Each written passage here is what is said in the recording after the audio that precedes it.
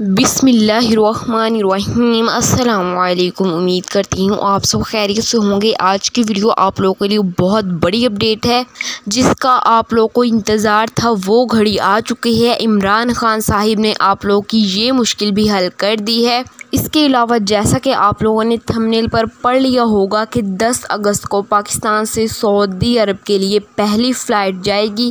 تو اس کی مکمل ڈیٹیل آپ کو ملے گی اسی ویڈیو میں. تو ویڈیو پوری دیکھیے گا اور اگر آپ میرے چینل پر نئے ہیں تو میرے چینل کو سبسکرائب کر دیں، ساتھ میں دی گئی بیل آئیکن کو پریس کریں تاکہ ہماری لیٹسٹ آنے والی اپڈیٹ سب سے پہلے آپ تک پہنچتی رہے۔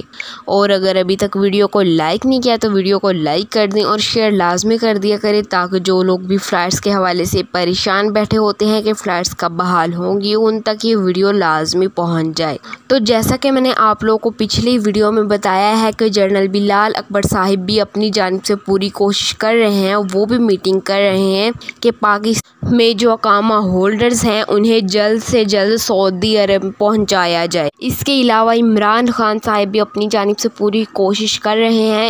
عمران خان صاحب کا ایک ٹویٹ سامنے آیا ہے، جس پر انہوں نے کہا ہے کہ آپ لوگ ٹینشن نہ لیں۔